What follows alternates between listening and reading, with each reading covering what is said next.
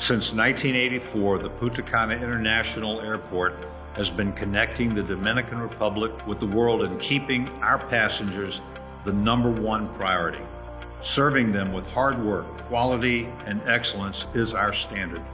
Known as the leading airport in the Dominican Republic and winners of the prestigious Airport Service Quality Awards for Best Airport by size and category in Latin America and the Caribbean, we reaffirm our commitment to the safety and travel experience of our passengers.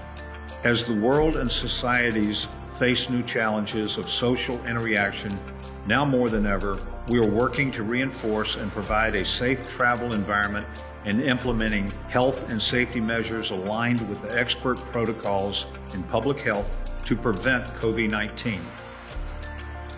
Our staff is redefining the cleaning and safety guidelines and the way operations are run in order to fulfill with the highest cleaning standards that go beyond standard protocol. Once you have arrived at the Punta Cana International Airport, you will see our safety measures that include the mandatory use of face masks, installation of thermographic and heat motion sensors on arrival, departure, and passenger transit terminals. Likewise, you will find boarding pass readers for your direct scanning at the gates and security checkpoints, installations of hand sanitizing stations, physical distancing measures, screen guard protection, and a monitoring station with trained personnel from the Dominican Ministry of Health. A primary health care station in the check-in area was added just to name a few additional safety measures.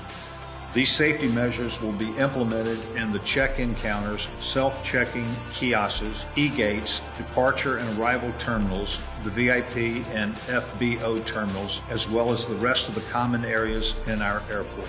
We are getting ready to once again open the doors for connectivity as you begin to explore the world again and rediscover the joy of travel.